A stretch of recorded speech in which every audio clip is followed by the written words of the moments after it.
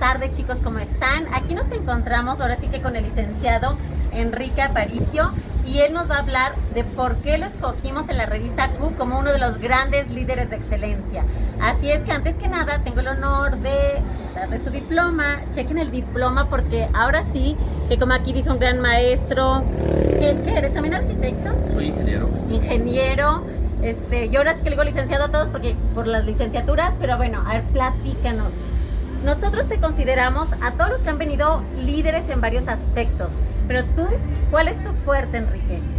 Bueno, yo me dedico a la construcción, eh, emprendemos algunos otros negocios y pues aquí el tema es este, pues seguir con el entusiasmo de seguir adelante y con el espíritu emprendedor. ¿no? Claro, aparte con todos los retos que ahora se están enfrentando con la pandemia, cuéntanos cuál ha sido tu reto más fuerte en este tiempo. Bueno, pues ahorita me tocó hacer el edificio eh, pues más significativo de gobierno del estado, que es el edificio de bares y restaurantes, las, plazas de acceso para la feria, y pues fue una obra que se hizo en tiempo récord, ¿no? Se, realizó en un año, un presupuesto bastante importante y con un proyecto muy, muy, muy complicado de realizar en tan, tan corto tiempo. Claro, porque me imagino que aparte tienen que tener todas las medidas de seguridad con lo del COVID y, este, y algo que me gusta me acentuar cuando entrevisto a alguien, especialmente estos líderes, es que no nada más son líderes en el trabajo, él también, eres padre de familia, ¿no? Así es, tengo dos niñas, eh, una de 18 y una de 14 años, y pues sí, siempre es un reto este, estar en la adolescencia, ¿no? Y más ahorita en el tema de la pandemia, están desesperados los niños. Claro, por salir, por venir aquí a divertirse también en el, Campestre Center, por ver a sus amigos. Así es. ¿Y cómo has manejado eso? Pues ahí vamos, ¿no? Me, cuesta un poco trabajo todavía con, los, con, el novio de la más grande, ¿no? Ya sé, ahora sí hay que ser líderes en varios aspectos. Yo siempre digo que no nada más somos líderes en una cosa y ahora sí quieres el super papá. ¿Y qué tal en la pareja? Cuéntanos un poquito, ¿cómo, cómo llevas también eso? Porque también es difícil. Bueno, sí, bueno, llevamos este, ya 18 años de matrimonio y, pues felizmente casado. Puedo decir, ha sido mi esposa pues, un gran apoyo para poder seguir emprendiendo todos estos esfuerzos ¿no? y todas esas iniciativas que vamos logrando juntos. Claro, aparte ella anda por aquí también, como vemos todo el apoyo, ella está aquí apoyándolo.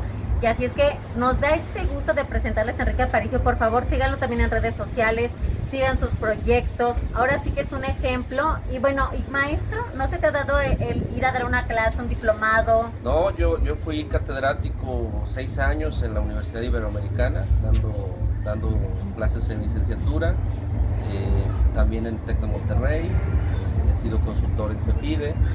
Este, y pues ahorita estamos eh, apoyando el programa de Tech Beyond, el Tecnológico de Monterrey, el programa de alta dirección. Sí, yo me imaginaba, porque por lo general estos líderes siempre tienen que transmitir ese conocimiento. Es muy importante porque al final de cuentas es la mejor herencia. El conocimiento que nos dejan estas personas que ya pasaron por este camino en el que otros chicos van transcurriendo. Y me da mucho gusto que hayas dado todas esas clases. ¿Las sigues dando aparte de apoyar el proyecto? No, no, ya, ya ahorita estoy más tranquilo emprendiendo proyectos personales. No, pues está muy bien. Y bueno, Enrique, te deseamos toda la suerte del mundo. Sigue dando ese ejemplo, sigue compartiendo con la revista Q. Ahora sí que mándales el último mensajito a todos aquellos que te están viendo. No, pues muchas gracias por la revista Q, por, por el reconocimiento, ¿no? Muy contentos de estar aquí participando. Y bueno chicos, no olviden que el siguiente en recibir un reconocimiento podría ser tú. Cheque estos líderes, ve en qué te identificas, aprende de ellos y el día de mañana serás tú quien reciba un reconocimiento. Muchas gracias y síganos viendo.